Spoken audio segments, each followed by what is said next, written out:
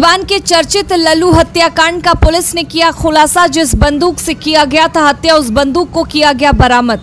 साथ ही तीन कुख्यात अपराधी को पुलिस ने दबोचा। जी हाँ, बिहार के सिवान से इस वक्त की बड़ी खबर सामने आ रही है, जहाँ सिवान के चर्चित लल्लू मियाँ हत्याकांड का पुलिस ने खुलासा कर दिया। बता दें कि कुछ दिन पहले सिवान ज़िले के हुसैनगंज थाना क्षेत्र के सिवान सिसवन मुख्य मार्ग पर कुतुब छपरा के नज़दीक लल्लू उर्फ़ तकी को बाइक सवार अपराधियों ने गोली मारकर मौत के घाट उतार दिया था। बता दें कि जमीनी विवाद से मामला जुड़ा हुआ था।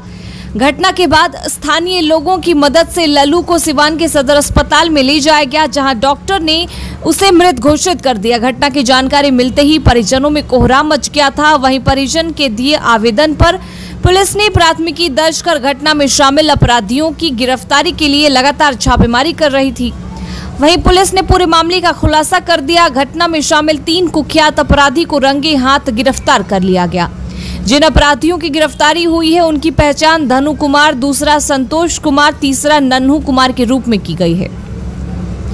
तीनों के पास से दो पिस्टल और घटना में प्रयुक्त एक मोटरसाइकिल को भी पुलिस ने बरामद किया है। संदर्भ में हुसैनगंज थाना प्रभारी विजय कुमार ने बताया कि पुलिस ने लल्लू हत्याकांड का उद्भेदन कर दिया है। घटना में शामिल तीन को कुख्यात अपराधी को रंगे हाथ गिरफ़्तार कर लिया गया है। साथ ही घटना में प्रयुक्त हथियार और मोटरसाइकिल को भी बरामद किया गया है।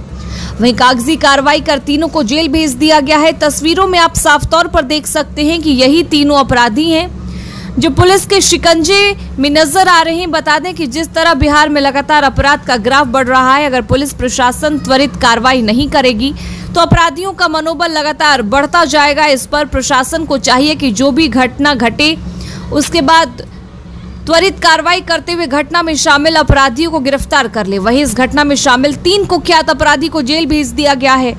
तस्वीरों में देख सकते हैं कि किस प्रकार थाना अध्यक्ष प्रेस कॉन्फ्रेंस करते हुए नज़र आ रहे हैं।